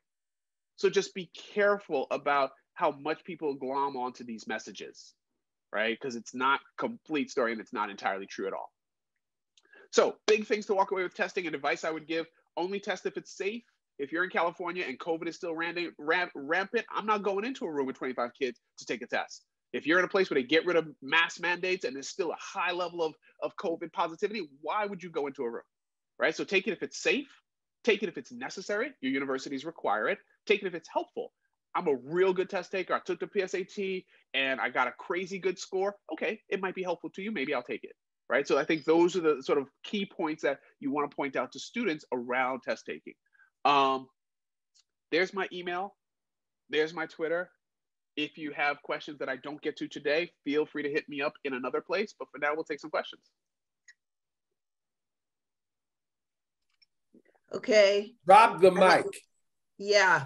I think everybody just needs to breathe in through the nose, blow out through the mouth. That was amazing and a lot. And so I'm going to need you to come back every month. And oh, I'm sorry. just saying. Maybe it's just me. Maybe it's just me. no, me. it's not. It I have like eight pages of notes. And and some okay, of this I heard Akil say already. Yo, y'all, y'all pushing us into have to contract with this brother. we can't, we can't get to that margin. that brother is a million dollars worth of knowledge. Oh heavens, yes. Yes, yes, and, yes. And, and, also let me let me caveat that a little bit, right? So Please. I think that there's a couple of different things I'm trying to process for you guys, and I think you should sort.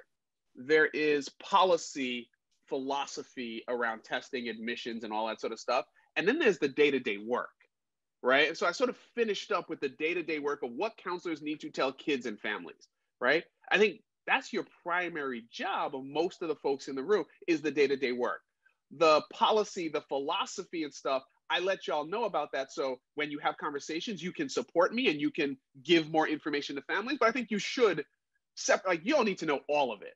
Like, I'm sure all of y'all know more about colleges in your region than I do. I don't know the difference between Drexel and Swarthmore. I know Drexel got a dragon and Swarthmore. I don't know what their logo is. I don't even know what, I don't even know how big Swarthmore is. Y'all know more about colleges than I do. My job is to think about higher ed policy and testing policy. I don't actually want to know about Swarthmore. Somebody come to me from Philly trying to get into school, I'm sending them to one of y'all because that's not my gig. So just remember, like, you know, what's the piece of this that you need to know to do the work? And what's the piece of it that you like to know to be more informed? Right. And I think that'll make this easier to process. It's still a lot. It is still a lot. Well, but it's but a this is, it's a good a lot though. It's, it's a, good, a, good a lot. That's what I was gonna say. And this is it's, exactly. I mean, Akil is one of us in that this is precisely. He just nailed what College Prep Roundtable is all about. And so, don't get me wrong. I'm not trying to promote us.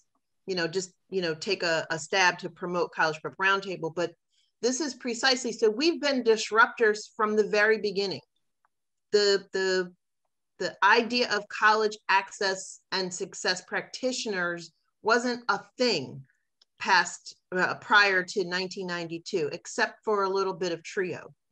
So there was no category that you could check off when you wanted to become a member. There was no invitation that went out to college access and success people um, who did this work, particularly in urban high schools, um, when you know it was time to uh, get professional development. So we have been disrupting from the very beginning around making sure that you all get this kind of information.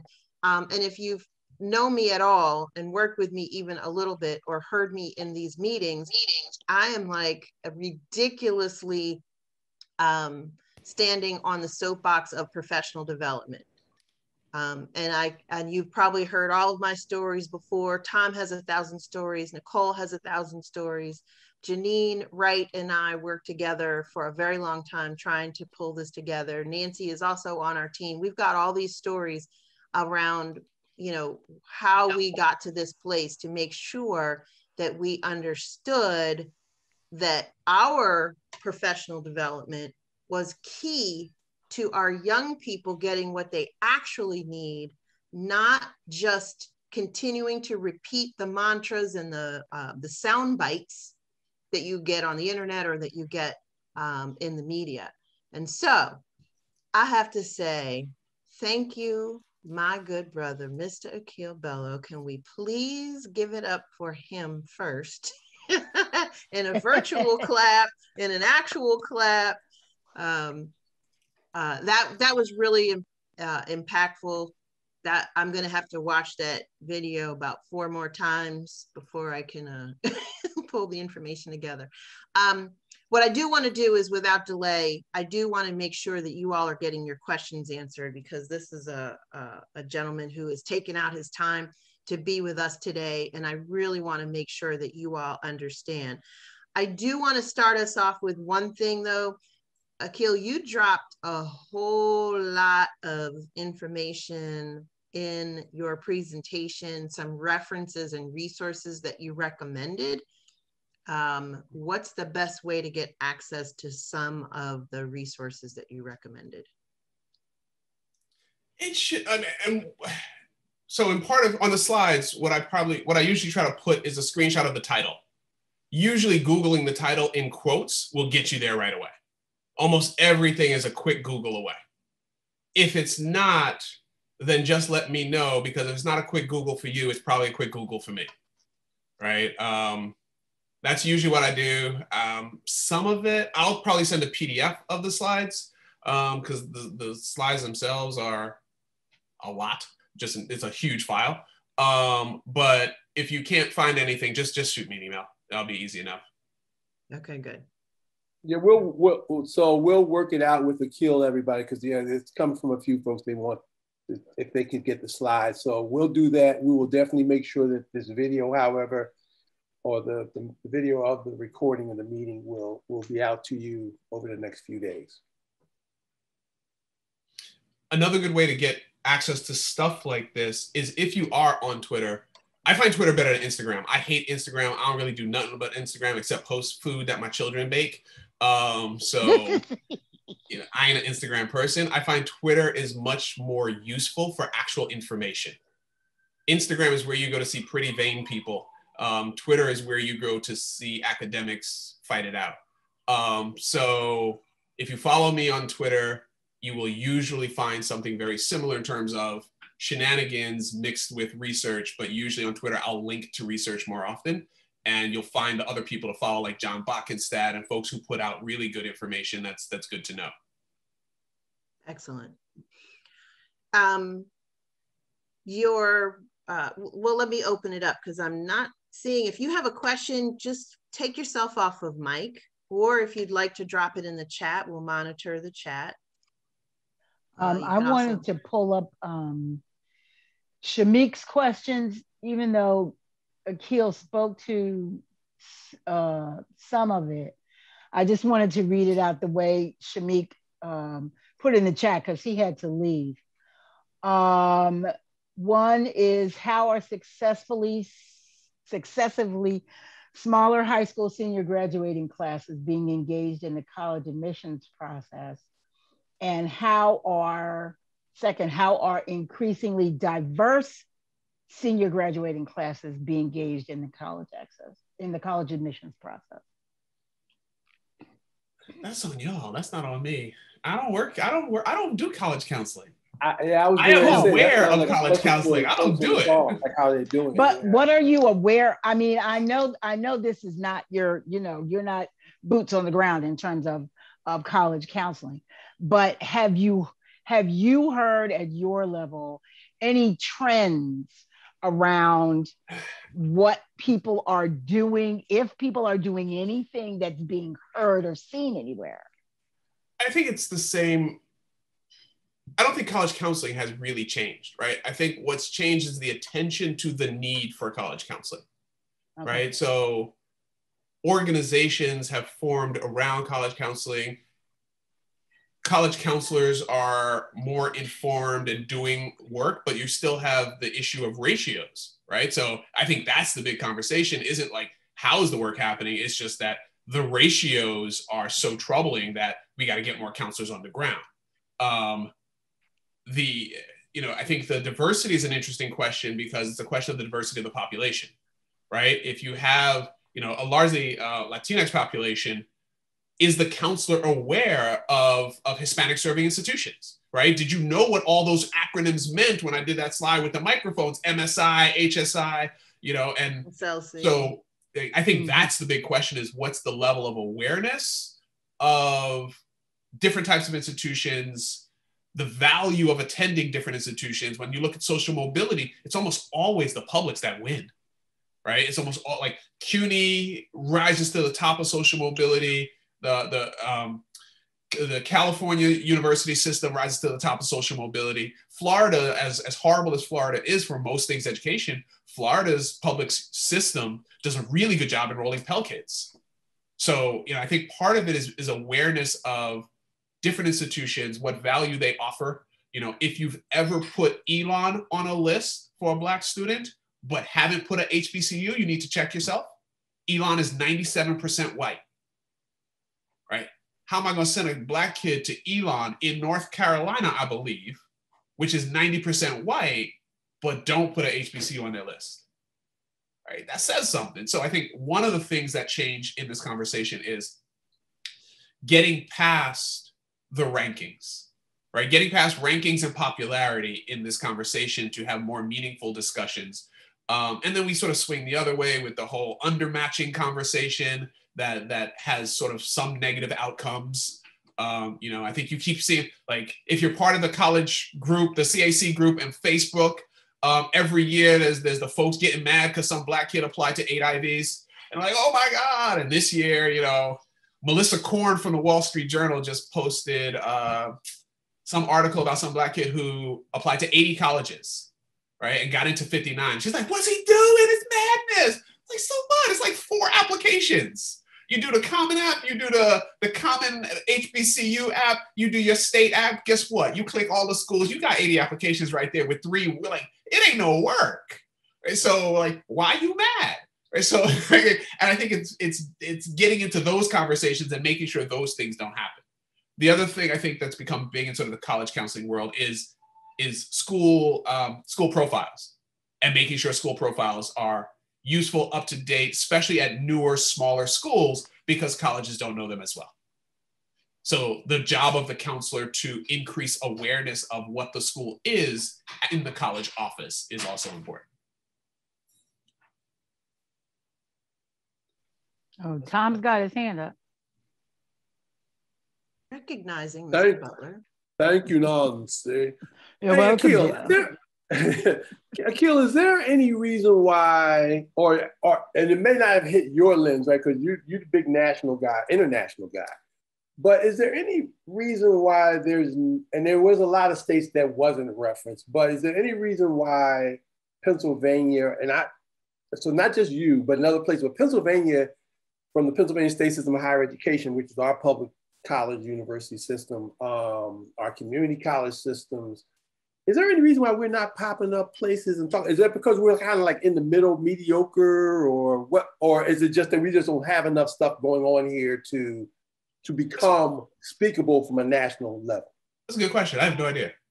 I don't normally think about Pennsylvania. You're right. I think we think about UPenn and Sandusky, right? Like so. I, I, don't know. Right? So I'm like literally that's why also Pennsylvania. Every now and again, I think about Swarthmore because I follow Dr. Andrew Moe, who runs their admissions office on Twitter, and he's doing great things around rural students and stuff like that, right? I do remember seeing the thing about them trying to collapse the the UP, the Pennsylvania system. I saw something right, but I don't really know much about the Pennsylvania system, and I don't know why. Um, I do know that you know, like I, I noticed you said mediocre, right? And I want to push back on that, but I don't know enough to push back on it, right? I do know that a lot of times those judgments are popularity, not education right? So I think we have to dig into those sort of things. And y'all could do something about that. Make sure Pennsylvania's always popping. You just did something about that. You got me thinking about Pennsylvania now. I'm gonna go and I'm gonna learn a little something about Pennsylvania. If I, didn't put this presentation together that, last night, or I would have, I would have actually put yeah, more Pennsylvania I, I don't know if we want to do that either. Be careful what you ask for. You know, because I have to say, Pennsylvania is on joke time in, in a lot of educational circles in terms of funding it, um, being, you know, leading on how people get into places, assisting. So I don't know how much you really want to know. Sometimes it's political, right? And that's that's part of what happens in a lot of places when politics control the educational decisions, weird things happen. Right. And so that, but I think what your job is what the role that you guys can play is sort of doing both right making me and folks who are sort of speaking about policy and things like that aware of pennsylvania needs more shine and then i can dig into it right then i'll think about digging into it while at the same time working with your students to ensure that they are aware of the opportunities in pennsylvania it's funny i'm sitting here right now thinking where is temple is temple in pennsylvania because I love Temple. Temple's in Pennsylvania, right? so I was like, it's like That's oh, Philly. Temple in that, in that Pennsylvania. So so yeah, yeah like, they're the other HBCU. exactly right. So I mean, part of it is I make intentional decisions around if I'm talking to a reporter, I'm like, I'm gonna say this school's name and that school's name, but not that school's name. I will almost never in public say Stanford. Like all of those, I actually usually say Stanvard and just call them all the same thing. I ain't mentioning them by name. So part of that could be the intentionality around what do I discuss and who's my example schools. My example schools aren't accidental, right? Um, so I think part of that is the conversation you want to make sure you have. Somebody asked a question in the chat that I just noticed that I wanted to address um, about test prep. Uh, where was it? Yeah, Akil, that was that was my question. We spend a lot of time on test prep in our programs, and I'm just wondering, like, based on the um, you know all the information that you shared and the different areas in which testing might still be necessary in the future but maybe for particular students interested in particular schools or opportunities what do you what do you think about sort of the time that's spent on test prep? I think you i think you still have to do it. I think that well let me let me say that slightly better. Looking at the students you work with and the schools they apply to.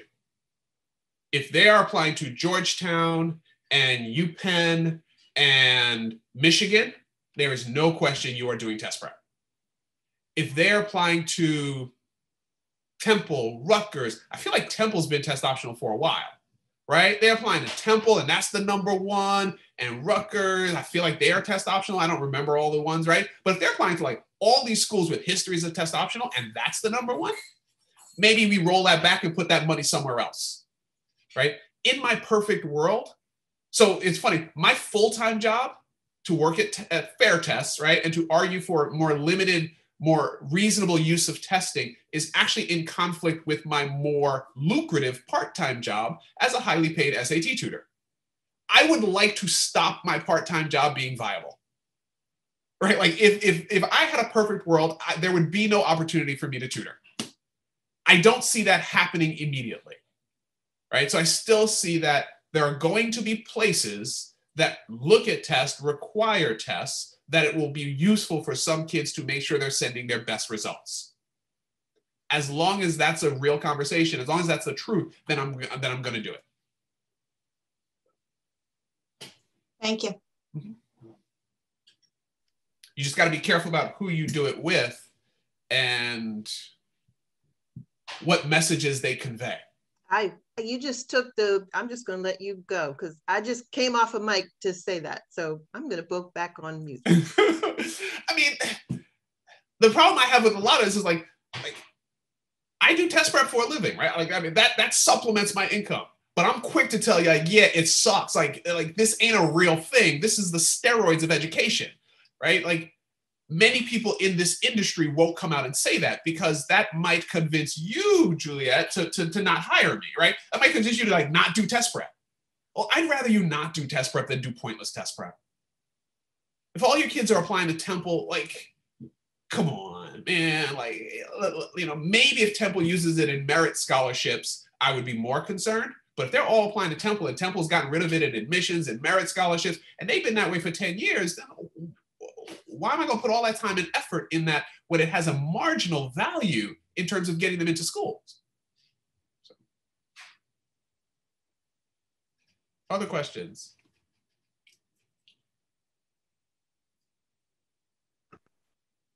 Akil, it's Lisa. Hello. Can you talk a little bit about early action and early decision? And now, obviously, the media was giving so much pressure on everyone must consider early pools. That's going to be a priority.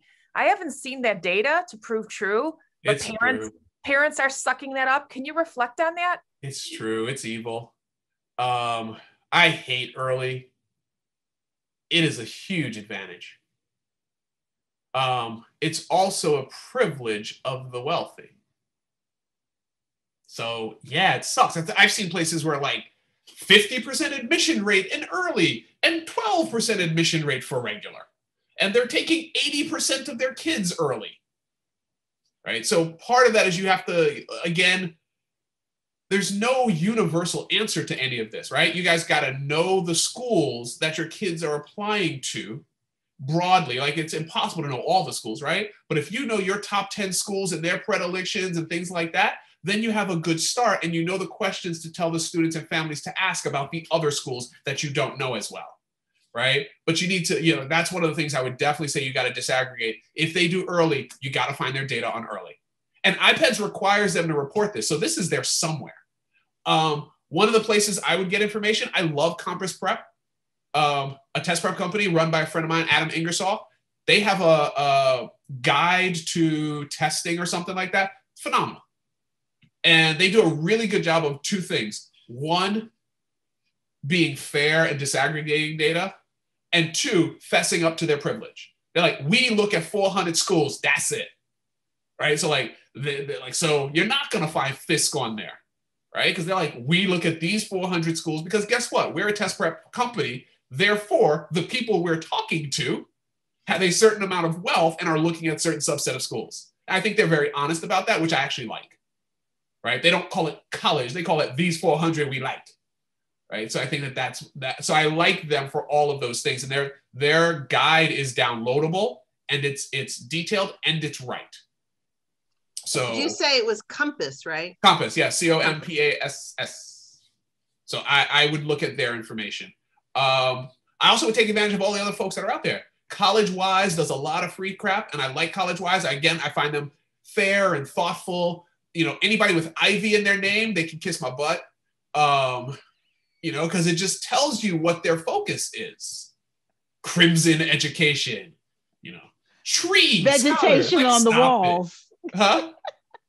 Ivy, vegetation right. on the wall. Right. I was like, like, nah. I'm looking at your your background, Lisa. I love Andy Borst at, at Illinois. Right? He's another person I would follow on Twitter. Lots of great information. So I think you you've got to find the people who will give thoughtful, disaggregated information that's actually relevant to the students you work with.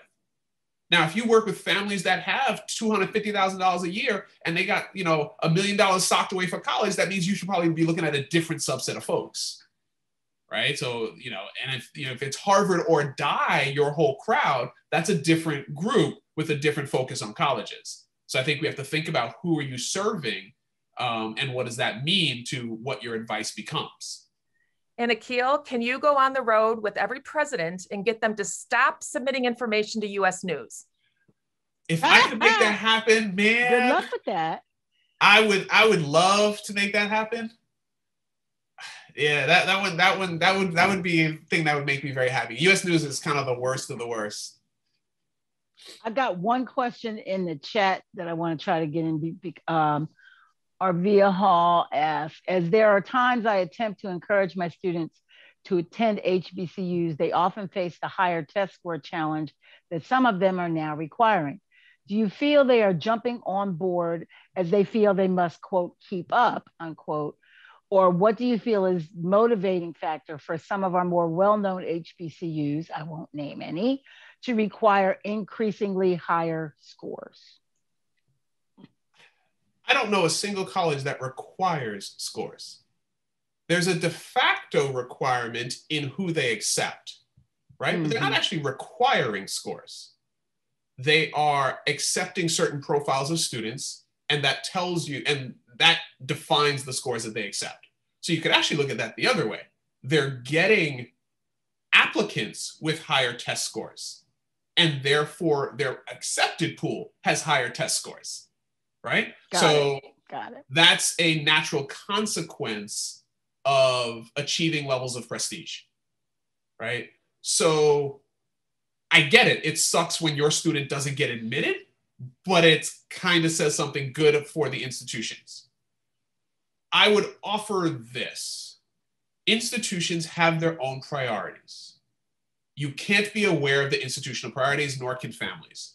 So the question is Is the institution somewhere I am willing to attend? If so, you do the work and you apply. They may or may not accept you depending on the institutional priorities right? I think that's what it ultimately comes down to. I'm not saying anybody should go to an HBCU because if Harvard offers you a free ride and Hampton offers you 10K a year that you have to come out of pocket with or take in loans, I'm probably going to Harvard, right? So, you know, so, and, and I think that one of the conversations becomes, you know, there's a, there's a different conversation applying and willing to go if the financial package works out, right? Or you know, or or not applying. And I think most people conflate those two things. I think you apply broadly and see where the financial aid package works out, um, and you make those decisions when it comes to that. Far too many people I've seen dismiss the category of HBCUs at the front end of the process, right? But but but weirdly, they don't do it with NYU. NYU has the same reputation. NYU is known to be one of the worst places ever for financial aid but folks are okay applying there left, right, and center.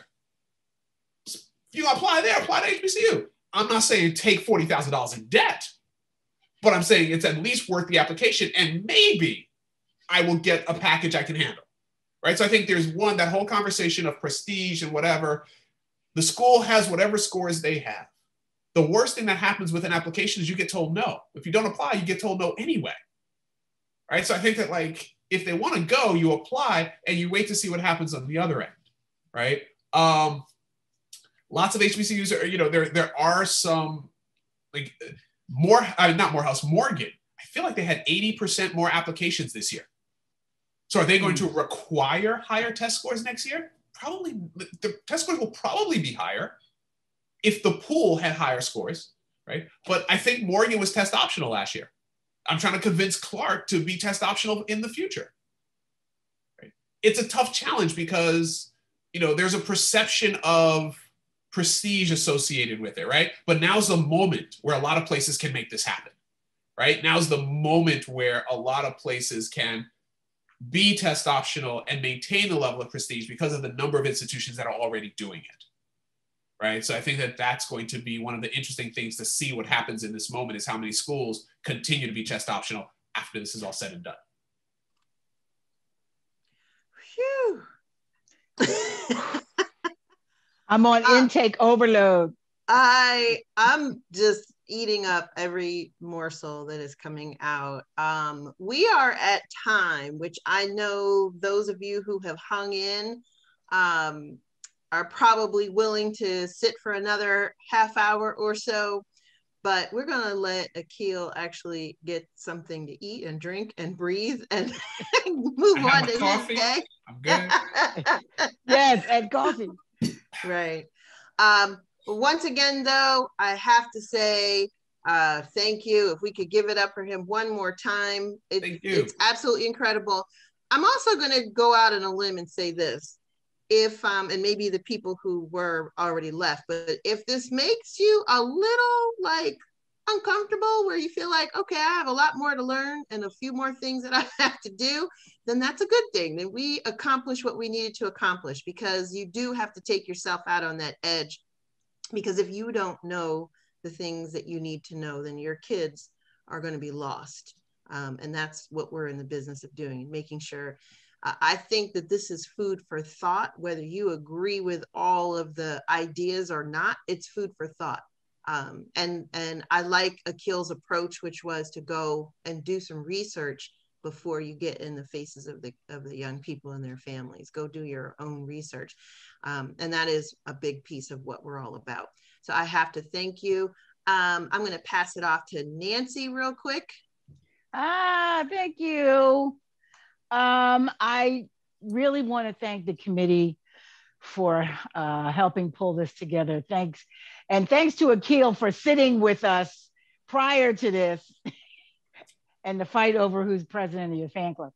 Um, but um, thank you to everyone who took the time out to come today. Uh, I just second the whole idea of the fact that there was so much to take in, but this is this is good stuff. This is what PCPR is striving to always do: is to give you more that makes you want more. Um, and this is great information that you can use with your students now. It's a perspective that you can use now that's immediately applicable to the work that you do. And that's what PCPR um, strives to continuously do is to give you stuff you can take away and use tomorrow exactly. with your students. Thank you, Nancy. And Mr. Butler, any famous last words? Yo. That's a um, I, I, look, I know folks are overtime. We lost, we didn't lose anybody folks had to ch- sign off yeah. and go to their next mm-hmm. somethings. Uh, Akil, Akil, Akil. Um, you know, when we came on board, when we actually come on board, you have never given us a no yet. Uh, believe me, we're playing poker and we're not going to throw out too many more chips at you to take it. We know you are uh, world renowned, uh, always on the move to the next something, um, but you are a lifeline for us from a national international perspective. So we thank you for your time and efforts. I thank everyone who joined also uh, in on this. I also have to do, again do it while Nancy just said it, but do it from my standpoint and just thank the team. Thank um, Nancy for chairing PCPR all this year and last year into meetings. I want to thank Candace for always being. Candace is my ride or die. I'm just gonna put it out there like that. I just say I got a new one every time. That's that it. was the one. She's ride or die from the beginning. Janine Wright um, I, I, consider a mentor. Um, she's jumped on board with us. And I want you to pay attention to Janine's post in the chat about the FIND K16 event coming up. Uh, please plan to attend that. We'll get something out in, in, in good stead to the whole organization around that. Jenny, when is the date again? Really fast, really quick? June 3rd. June 3rd. So that's coming up in two weeks. Mm-hmm. Is there a deadline or registration for that event?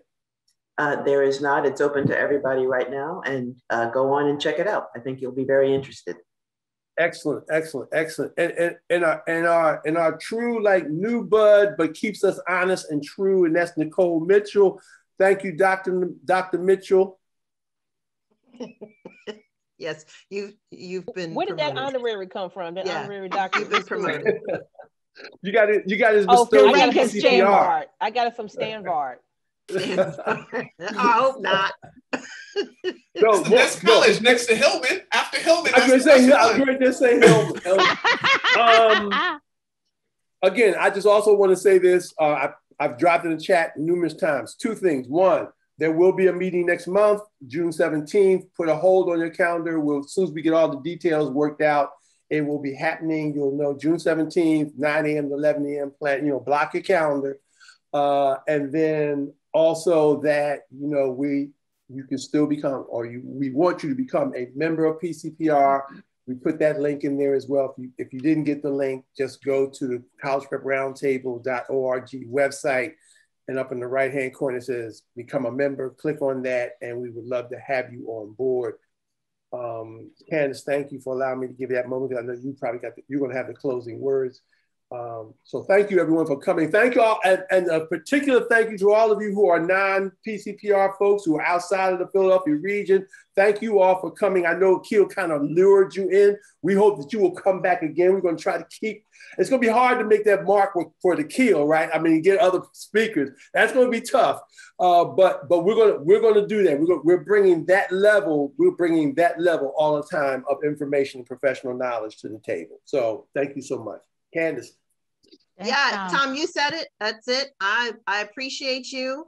Everybody have a fantastic day. Get out, get some walking in, get some exercise, eat well, stay healthy, stay safe. All right, you guys have a good one. All right, take care, Thanks, everyone. Akil. Thank you take all. care, everybody. Bye-bye. Bye.